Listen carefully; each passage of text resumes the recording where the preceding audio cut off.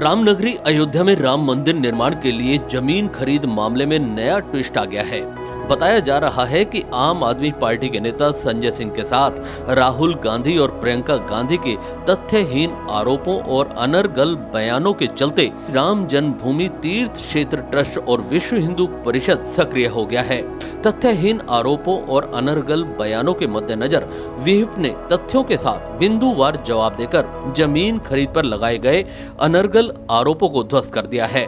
अगली कड़ी में अब द्वेषपूर्ण तरीके से आधारहीन बयान देकर कर मंदिर ट्रस्ट की प्रतिष्ठा को धूमिल करने वाले राजनेताओं पर मुकदमा भी दर्ज करने की तैयारी की जा रही है। इसके लिए ट्रस्ट व विहिप के शीर्ष पदाधिकारी विमर्श कर रहे हैं।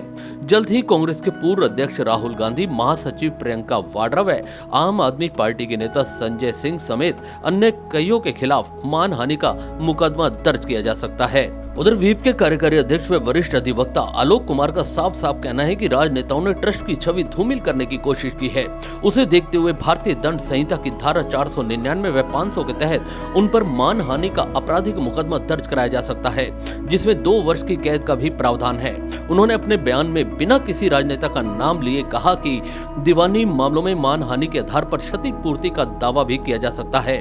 विचार किया जा रहा है की दीवानी मामला दायर किया जाए या आपराधिक। अथवा दोनों मंदिर निर्माण में विघ्न डालने वालों को माफ़ नहीं करेंगे।